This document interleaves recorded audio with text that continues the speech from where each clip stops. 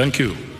Uh, ladies and gentlemen, I was being uh, advised by His Excellency President Ruto that there is a Baba, uh, a title that seems to go to His Excellency Olusegun Obasanjo, and then there is Baba. so, Your Excellency uh, Raila Amolo Odinga, the podium is yours. You can address us. Thank you.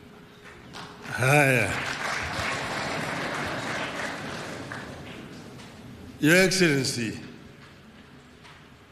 President William Samoei Ruto, President of the Republic of Kenya, Your Excellency, President Yoweri Kaguta Museveni, President of the Republic of Uganda, Your Excellency, President Mama Suluhu Hassan, President of the United Republic of Tanzania,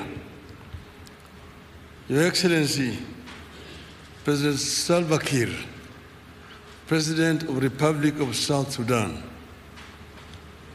and Your Excellency, Baba,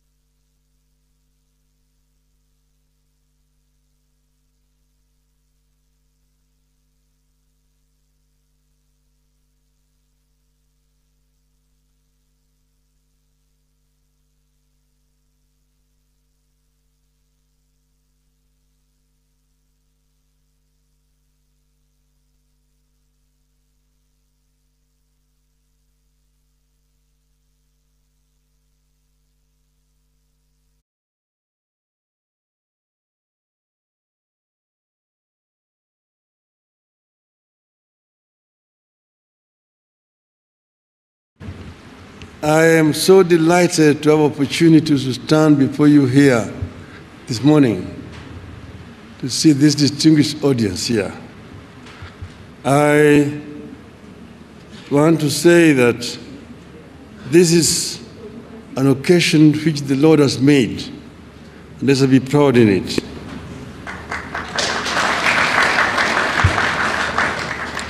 Today, I stand before you here as a candidate for the chairperson of the African Union Commission.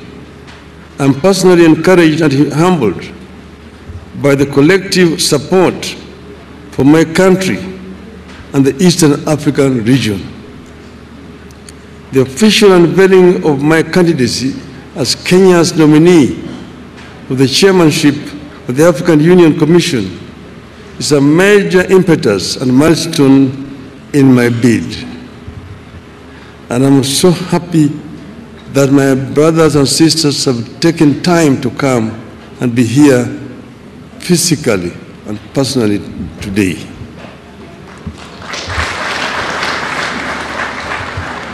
The history of Africa is replete of low and high moments.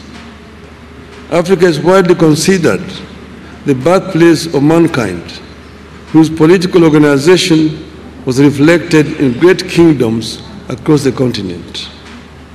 And as of today, the oldest species of humanoid has been discovered in this region.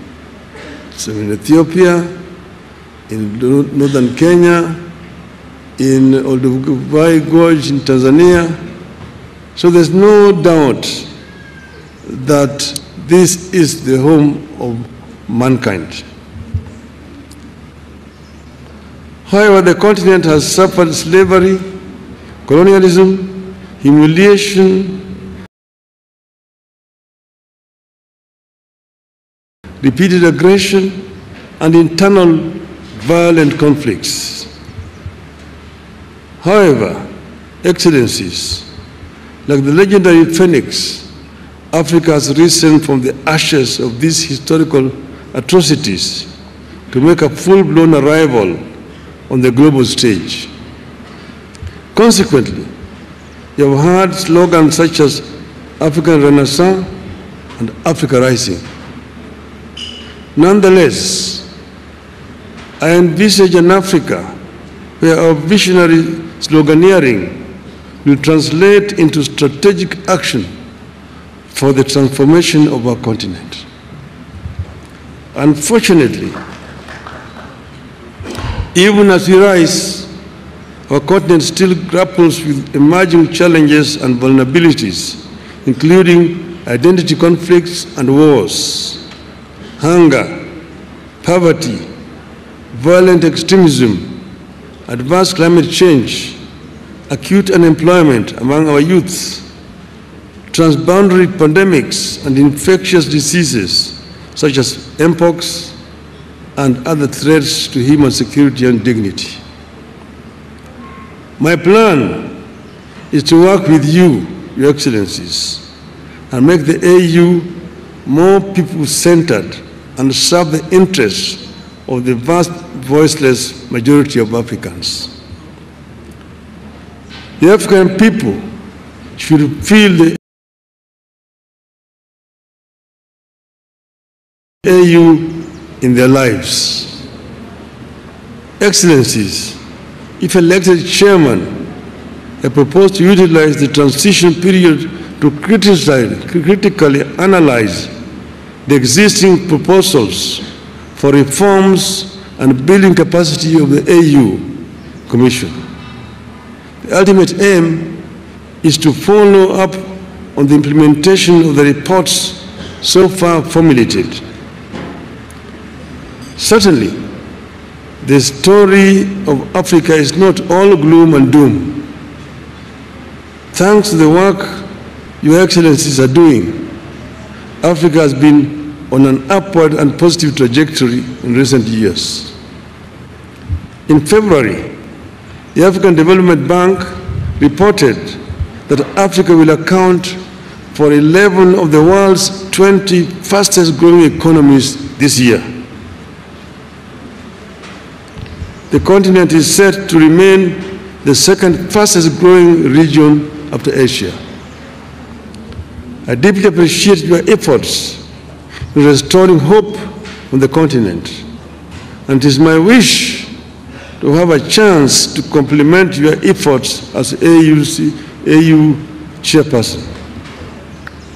Excellencies, throughout my leadership and service to the public, I have noted the significance of defining strategic goals and appreciating the influence of political dynamics on the outcomes of these goals. So decision making must be backed by a balance between policy and geopolitics. I plan to work with you, Your Excellencies, to integrate this continent. You're one people who unfortunately are trying too hard to separate from each other.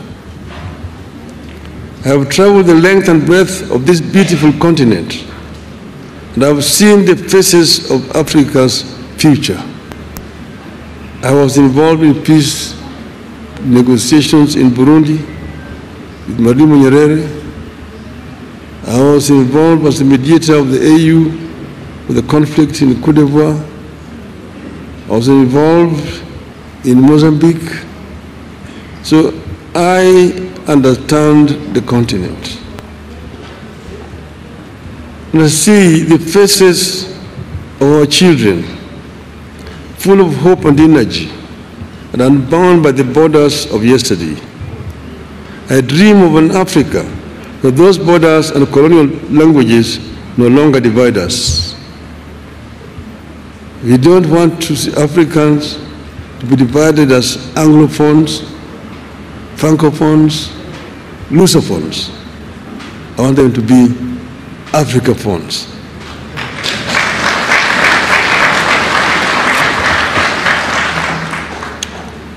From the hills of Kenya to the deserts of Sahara and the Kalahari, from the lakes of Great Rift to the rainforests of Central Africa, from Indian Ocean to the Atlantic, Africa must be one. Its resilience and hope for a bright future transmitted to our young people. Excellencies, ladies and gentlemen, my selection to be Kenya's candidate is not about one man's ambition, but an African's journey to serve the motherland. Indeed, I plan to constitute my cabinet of chairpersons with a continental outlook. I'm grateful that friends and eminent persons across Africa have volunteered to engage in my campaigns from the West, North, South, Central, and of course, Eastern Africa. Excellencies, I'm ready to serve. My heart is ready and my hands are steady, and with your support, I shall get the opportunity to be of service to Africa, the cradle of mankind. I am made in Eastern Africa for Africa. I have said that I'm an Afro-optimist as opposed to Afro-pessimist. Afro-pessimists are those people who have given up on Africa, who say Africa is a lost cause, a wasted continent. But Afro-optimists are those people who believe in African development, that Africa can be developed with the efforts of the African people. This is what I believe in. I have come from the school that believes in the efforts of the founding fathers of our continent. Those who were visionary, who envisioned an Africa that was united. Kwame Nkrumah, Ahmed Sekou Toure, Gamal Abdel Nasser, uh, the late Emperor Haile Selassie, Jomo Kenyatta, Jaramogi Oginga Odinga, Mwalimu Julius Kabarage Nyerere, Kenneth Kaunda. Those were the founding, some of the founding fathers of our continent who believed that Africa will only develop if it is united. Nkrumah said that Africa must unite or perish. That is the school which I'm coming. To be able to realize the dreams of the founding fathers, first we need peace on the continent. In 2013, they, they talked of silencing the guns. But in 2024, the guns are not silent on the continent. We will work to ensure that guns are silent so that we can be able to have a peaceful development.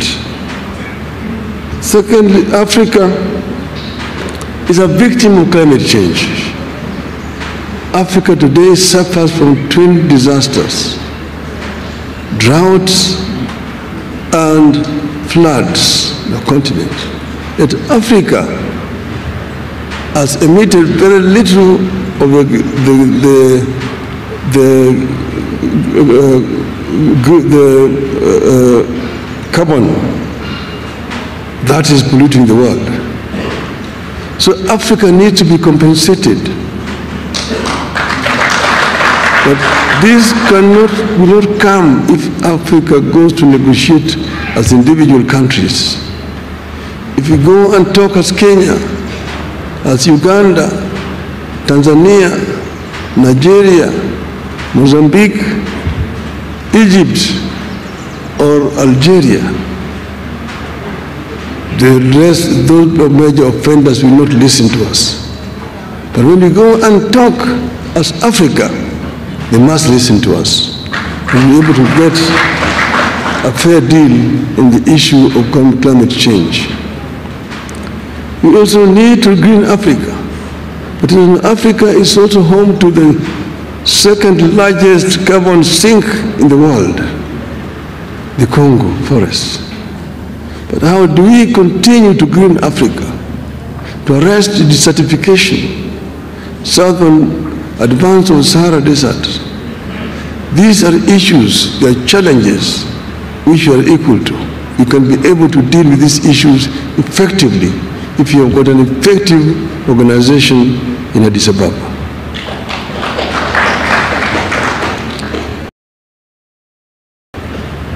African youth today drown in the Mediterranean trying to go to get to greener pastures in Europe. It's a shame. We must arrest this trend and ensure that we create a conducive environment within the continent here. This youth will not have to flee to go to Europe. And this will only happen if Africa works together as a, uh, as a united uh, continent.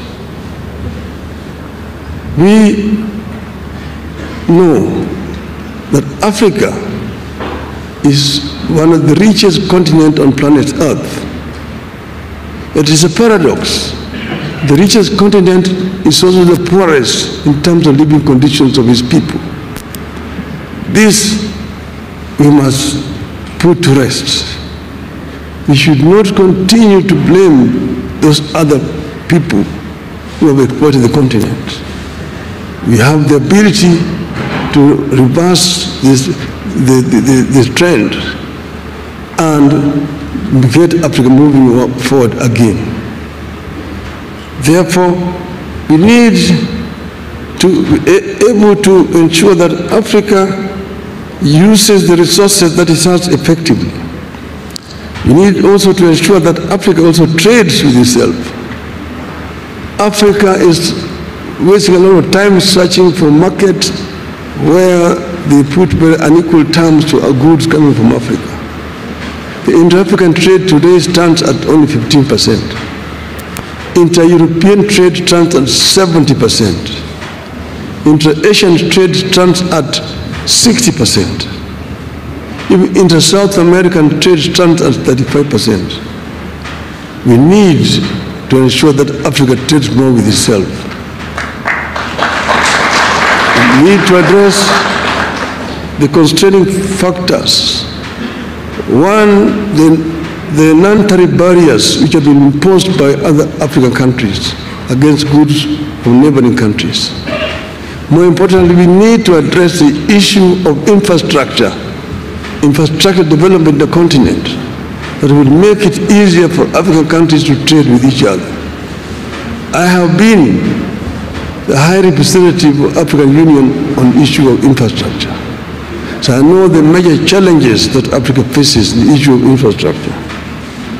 The trans-African highways, the Cape to Cairo, the Tunis to Cape, the Dakar through Khartoum to Djibouti, the Dakar, Lagos to Mombasa, the Beira to Lobito and Walvis Bay, the high-speed railway network in the continent, which are, those are issues that require to be dealt with.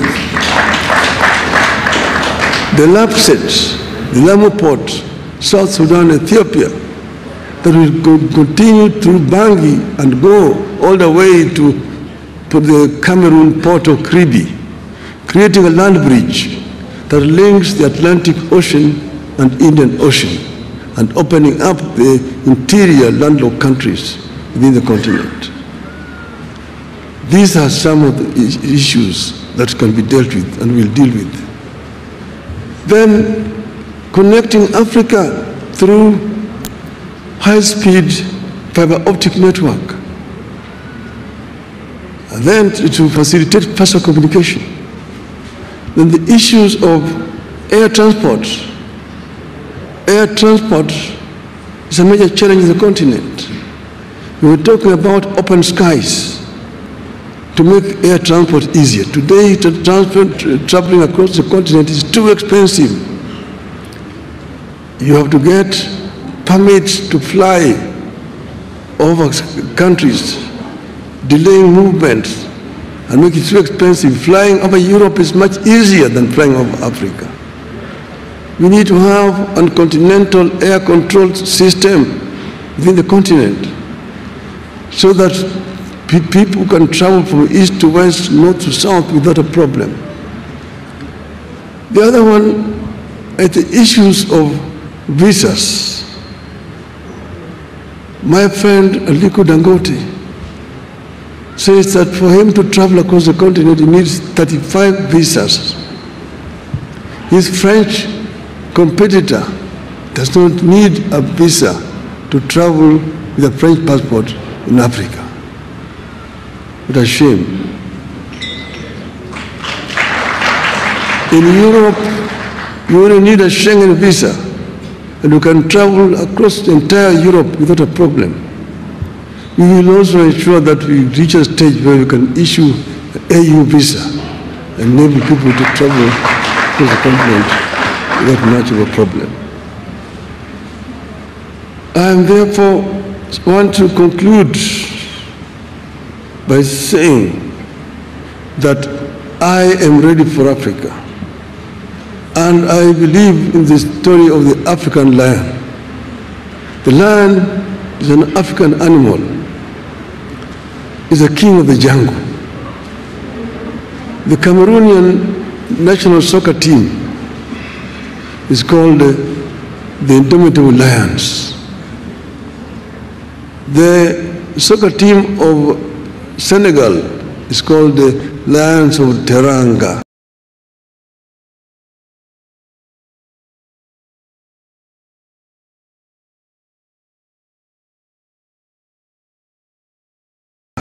The king roars, the jungle listens. So I have a story of the African lion. The African lion is giving a message to the Asian tiger. Tiger is the Asian animal. And I want my Asian friends here not to take offense. The African lion is giving a message to the Asian tiger that you Asian tiger, you've danced on the stage alone for far too long. It's your time to quit. European bear retreated to the North Pole long time ago and is freezing there in the ice. The American panther is also on the retreat. But I'm here as the African lion.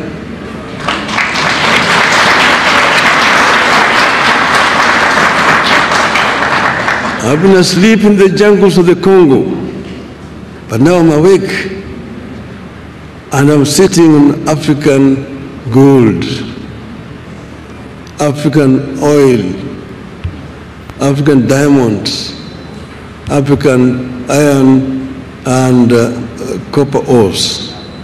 I'm sitting on African bauxite. I'm sitting on African lithium and coltan and uranium. And I have the ability to transport all, to transform all these materials that I have into wealth for the benefit of my people and claim, and claim the 21st century as an African century. End of the message from African Lion.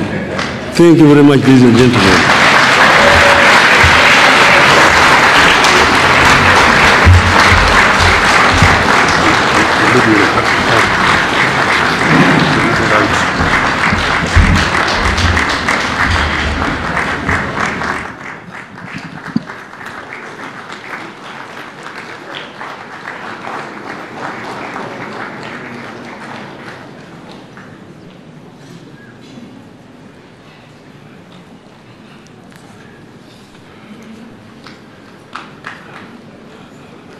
Thank you. Um, you can be seated. Indeed, uh, that's a very powerful message about uh, the African lion. Um, Your Excellency, uh, let me give very special recognition to the ambassadors from the Middle East, the Gulf states. Uh, please be upstanding.